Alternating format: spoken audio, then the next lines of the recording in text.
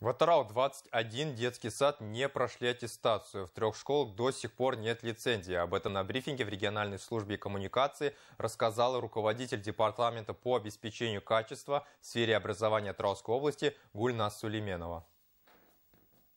Департамент по обеспечению качества в сфере образования проводит мониторинг с посещением и без посещения образовательного учреждения. Также проводятся внеплановые проверки на основе обращений физических и юридических лиц. В прошлом году мониторингом были охвачены 82 образовательных объекта. білім беру ұйымына біз мемлекеттік бақылау жасадық В 2021 году мониторинг с целью проверки качества был проведен в 82 образовательных объектах. В частности, это 61 школа, 10 колледжей, 11 детских садов.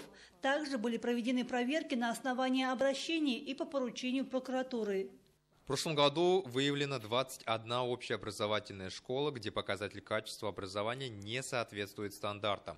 Стоит отметить, что государственная аттестация проходит раз в пять лет во всех детских садах вне зависимости от формы собственности.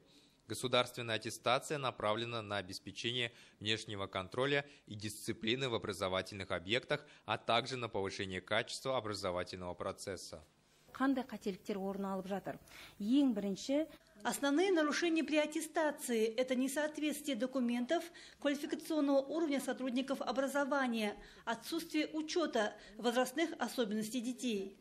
Стоит отметить, что в текущем году в целях проверки качества образования планируется провести 90 контрольно-проверочных мероприятий.